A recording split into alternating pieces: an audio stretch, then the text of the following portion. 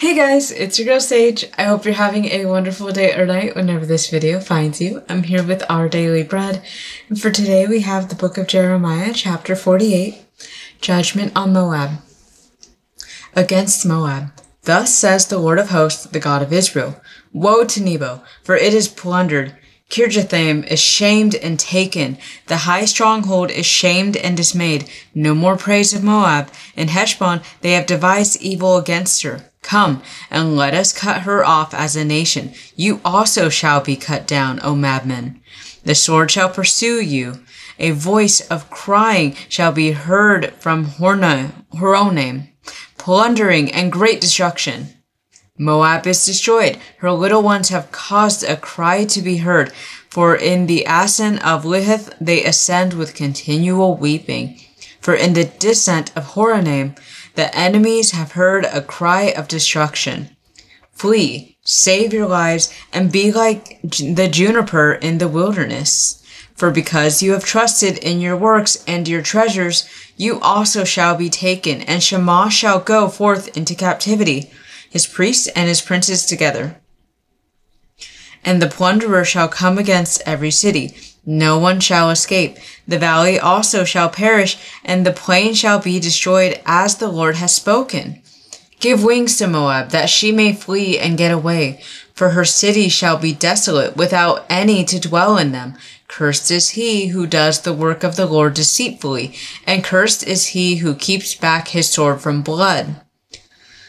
Moab has been at ease from his youth. He has settled on his dregs and has not been emptied from vessel to vessel, nor has he gone into captivity. Therefore his taste remained in him, and his scent has not changed. Therefore, behold, the days are coming, says the Lord, that I shall send him wine workers, who will tip him over and empty his vessels and break the bottles. Moab shall be ashamed of Chemosh, as the house of Israel was ashamed of Bethel, their confidence.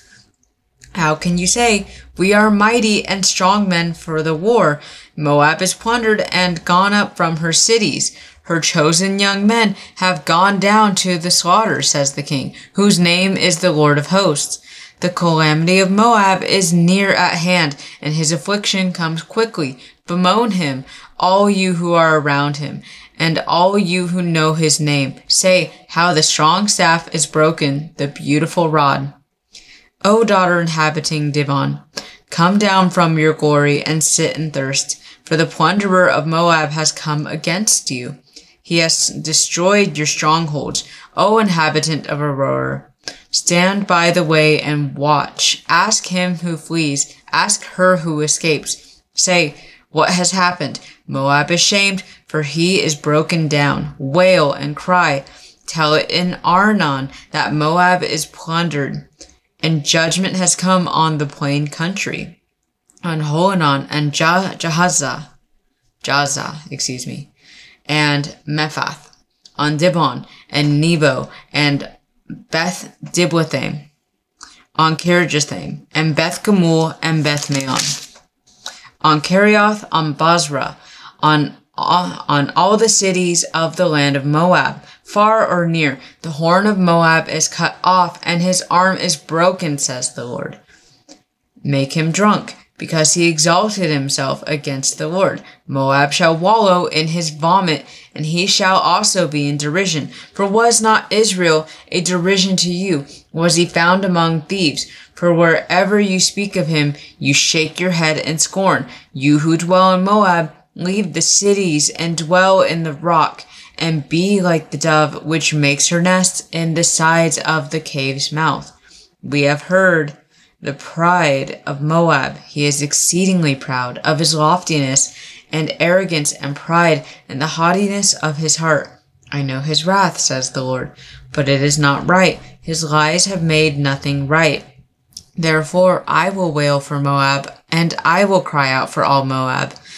I will mourn for the men of Kir Heres, O vine of Sibmah. I will weep for you with the weeping of Jazer. Your plants have gone over the sea. They reach to the sea of Jazer. The plunderer has fallen on your summer fruit and your vintage. Joy and gladness are taken from the plentiful field and from the land of Moab. I have caused wine to fall from the wine presses. No one will tread with joyous shouting, not joyous shouting. From the cry of Heshbon to Elealeh and to Jahaz, they have uttered their voice. From Zoar to Horonaim, like a three-year-old heifer, heifer. Uh, for the waters of Nimrim also shall be desolate.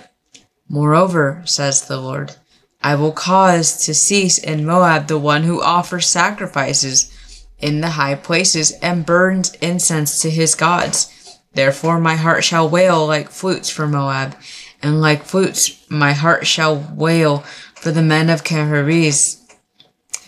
Therefore the riches they have acquired have perished. For every head shall be bald, and every beard clipped. On all the hands shall be cuts, and on all on the loins sackcloth. A general lamentation on all the housetops of Moab, and in its streets. For I have broken Moab like a vessel in which is no pleasure, says the Lord.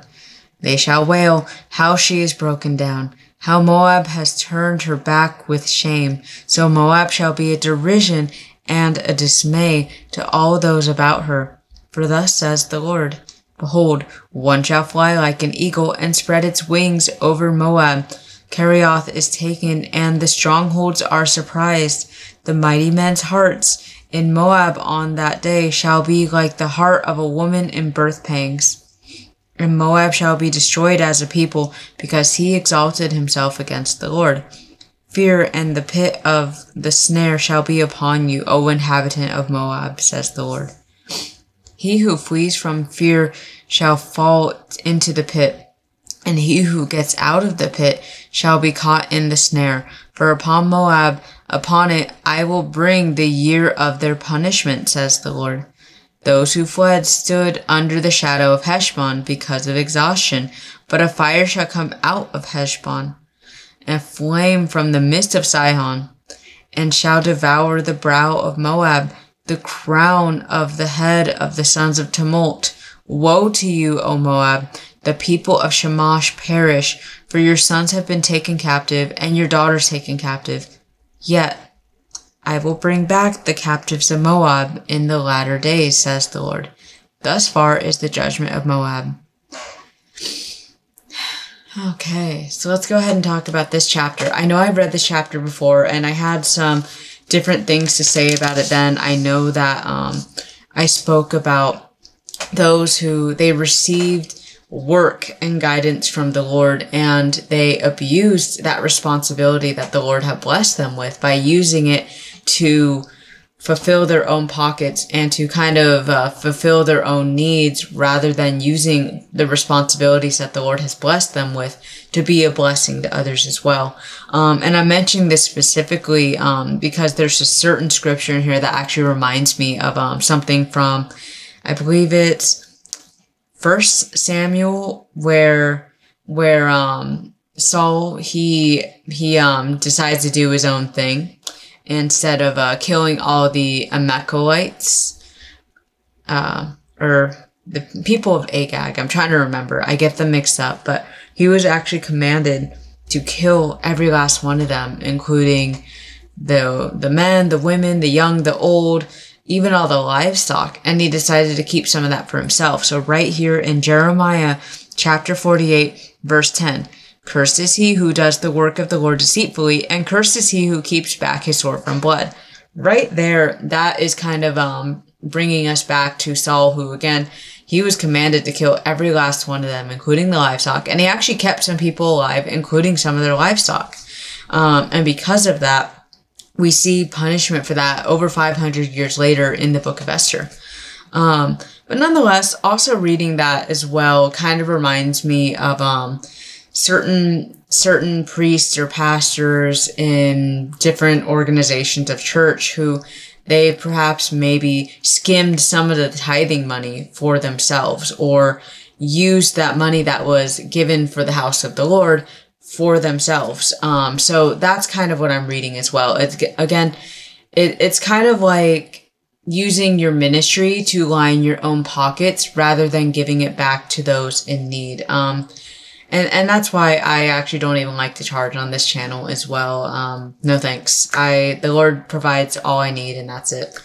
Um, but, but nonetheless, so it's bringing attention to that. But also, um, another sin that Moab has committed is exalting themselves over the Lord. So not only have they been possibly using some of the responsibilities that the Lord has blessed them with to do to line their own pockets, but also they've been trusting in their own works, they've been trusting in their own ways, and we know that our own ways are wicked when we are acting separately from the Lord um, and not carrying out His will, but also trusting in their own treasures as well. And that also leads down the slippery slope of putting uh, idolatry in their own treasures and their own works and their own means over the Lord. So that's when the Lord's kind of becoming a bit more of an afterthought, and that in itself is is a sin. Um, so again, their sin was that not only were they, some of them possibly abusing the responsibilities that they had been given, they were also possibly making idols out of their own ways or their own works or their own lifestyle um, and their own treasures. And by doing that, neglecting those in need. Um, and I say that because right here we see in Jeremiah chapter 48, verse um, 26 and 27 make him drunk because he exalted himself against the Lord. Moab shall wallow in his vomit, and he shall also be in derision. For was not Israel a derision to you? Was he found among thieves? For whenever you speak of him, you shake your head in scorn. So right there, I want to bring something up really quick. I think it's very interesting that the Lord uses this imagery. He um, says, make him drunk because he exalted himself against the Lord. So we already see that the Lord is um, kind of already writing out the, the sin that was committed against him. But also, make him, or Moab shall wallow in his vomit when you get really i don't know if any of you watching have ever just gotten really really drunk but you know every everybody should already know at this point that when you when you're really drunk your body's going to reject that and it's going to make you throw up to kind of preserve and save you because technically we have to remember that alcohol is poison. And that's kind of what um, the people of moab have been doing. They've been indulging in things that have been poisonous for themselves so now they're going to wallow in their own vomit. And this is actually to preserve them, to redeem them from the poison of their wickedness that they've been indulging in. Again, whether that wickedness be abusing responsibilities that the Lord has blessed them with, or perhaps um, wickedness of turning their own possessions and treasures into idolatry, or even just believing in their own ability to do things. And again, kind of forgetting that it was the Lord that provides them with all good things, because also that's true for all of us. Every good thing that we receive is a gift from heaven above. It's a gift from the Lord. So nonetheless, um, there's lots of elements of selfishness in here, but um, selfishness, but also um, turning the other way when others were in need as well. When Israel was in need, they turned their heads. Um, and and right here um, in Jeremiah 48, 29, this sums up what I was saying. We have heard the pride of Moab. He is exceedingly proud of his loftiness and arrogance and pride and the haughtiness of his heart. And I like this next part right here in uh, Jeremiah 48, 30. I know his wrath, says the Lord, but it is not right. His lies have made nothing right. Because again, they've been deceiving themselves and lying to themselves that everything that they have is from their own works, their own ability. And they've forgotten the Lord who have blessed them, which reminds me that when something that the Lord says, when I fed them, they became satisfied. When they became satisfied, they became proud. When they became proud, they forgot me. And that's exactly what's happening in Moab right here. Um, so reading this was a very humbling reminder that we have to remember that everything that we receive is from the Lord. I mean everything, whether it's waking up in the morning and our breath in our lungs and the heartbeat in our chest, whether it's waking up in a safe place, that's a blessing from the Lord. Whether it's having food and clothing, those are blessings from the Lord. That's why we're also called to pray, to give thanks and grace to the Lord whenever we sit down and have a meal. And also, um, I read in some excerpts after having a meal as well, saying, giving thanks that our stomachs are full. Um, and also just eh, whether we are also, um, receiving money, you know, from our jobs, give thanks to the Lord for that. You know, He's the one that gave us that job. He is the one that has blessed us with our ability to receive income because not everybody has that ability. You know, or if it's a spouse or family, you know, to give thanks to the Lord in all circumstances.